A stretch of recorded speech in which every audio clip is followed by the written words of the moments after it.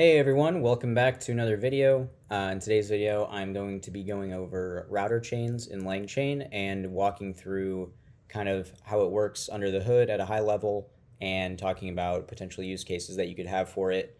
Um, so let's just get right into it. Um, so before we get into the code, this is just a very simple outline of what's going on uh, to my estimation.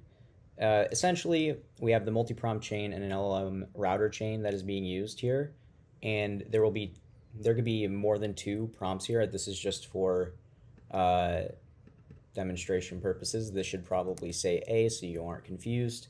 So the user is going to input something to the multi-prompt chain. It's going to be passed to our LLM router chain, and this chain has a prompt that is going to tell it, hey, here's a user input here's a list of two prompts and like what they're good for and their chains. Decide which uh, which of these prompts should be used based on the user input, and then route the query to that chain, and then let's get the response. And so let's say, oh, we think this is going to be better with prompt A. We route it to this chain, and then we get our response. So that is it in a nutshell. And without further ado, we can hop into the code. Uh, right now, I'm pip installing the requirements, which are just going to be uh, LangChain, OpenAI, tiktoken, uh, python-dotenv, just because I don't want to show my API key uh, during the video. So that's why we're doing that. Next, I am, yep, importing OS and .env, loading the OpenAI API key from our environment.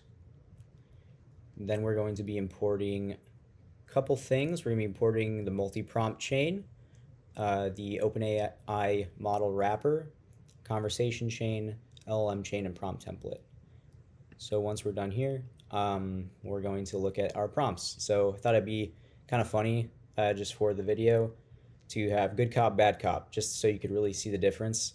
Um, and we can maybe talk about a potential use case. You can imagine just, you know, you have an online game um, where users can intera interact with different players, and based on what the user says, the player can react in different ways now. So maybe I'm in GTA whatever seven, I don't know which one they're on, and you have some cop that's powered by a, a router a, a router chain on the back end, and you're super nice to him, and he's he's he's the good cop. He's saying, hey.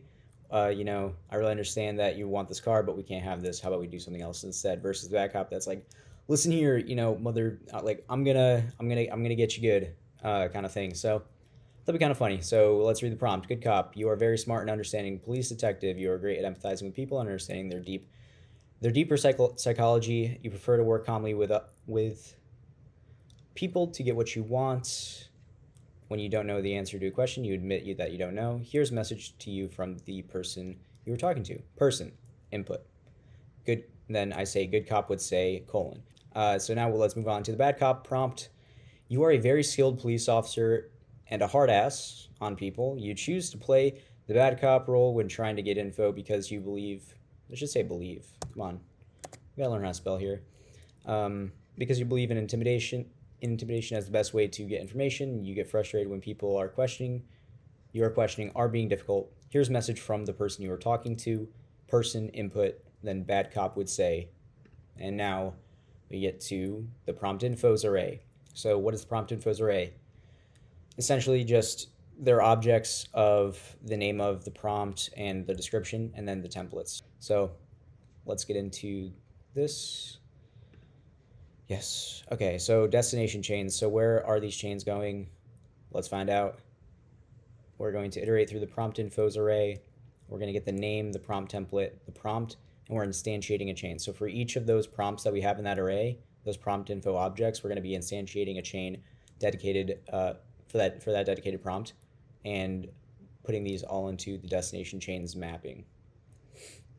Next, we're getting a default chain, which will be just conversation chain. And now we're getting to the LLM router chain. So this is how it decides, you know, this is where we're going to decide like which prompt should we, uh, or yeah, which prompt should we pass this to based on the user input. So we're going to import the LLM router chain and the router output parser, and we're also going to be importing the multi-prompt router template. Now, I know I said I wasn't going to show it, but I'm going to just because I think it's actually pretty important. So let's see. Okay. Right here. Let's go find it. Jeez. Somebody send me a new new laptop. Okay. This is the template that is being uh, used in the LLM router chain by default. So given a raw text input to a language model, select the model prompt best suited for the input. You'll be given a list name of available prompts. So this is where we're like putting in, see how it's saying like destination inputs and we're going to be saying here are the candidate prompts and those will be the destination, uh, the destinations that we pass into as like a huge, huge string that you'll see in a second and then the user input. So that's kind of what, no, that's not kind of, that is what the prompt is. So go check it out if you're interested.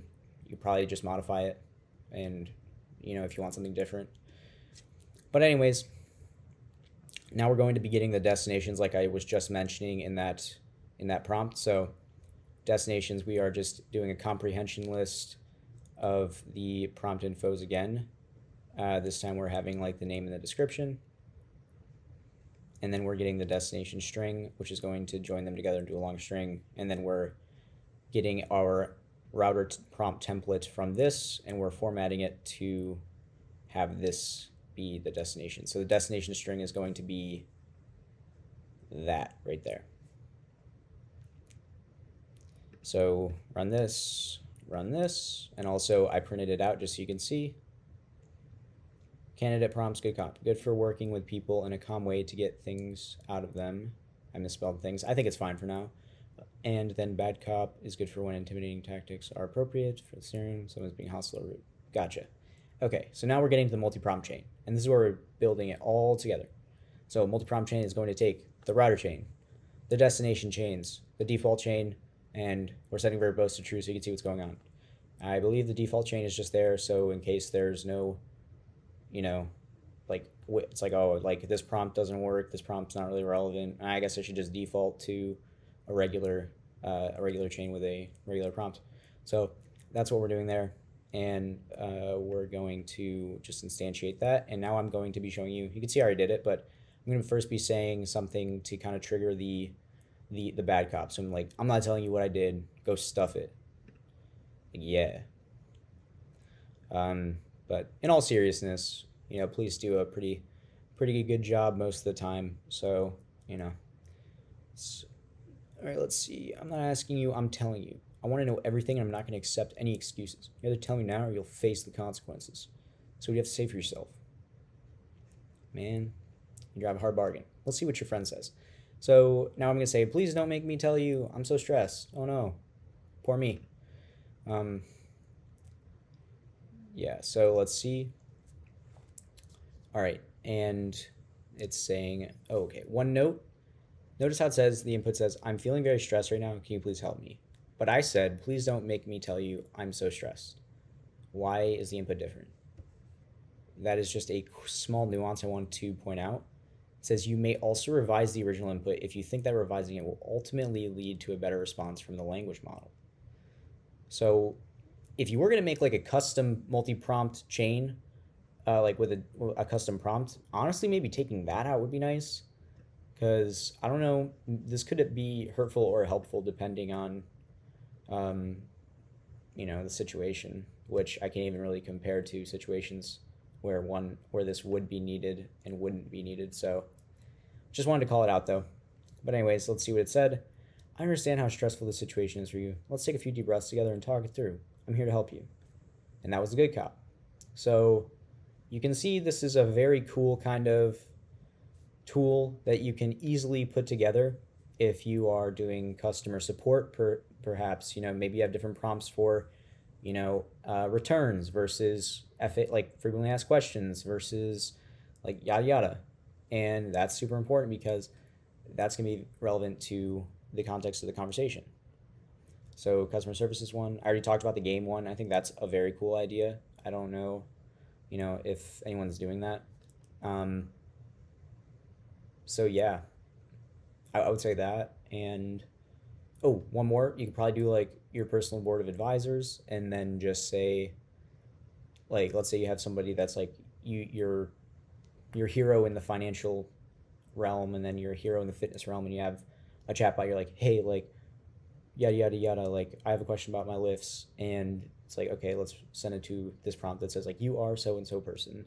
Uh, here's information about the person. Here's the question. Answer the question. And do the same. So you could have like a mega chatbot of all your of all your advisors. It'd be super light though like if it was just prompts saying like who they were because you couldn't fill it up too much. But i think it'd still be kind of cool. And yeah that is it for today. Um, smash the like button. Share it with your friends if you think this would help them. Uh, give me hate comments uh, like comments and just like regular comments in that order. Um, and then yeah just subscribe subscribe. I would really appreciate it. And there's no outro so uh, goodbye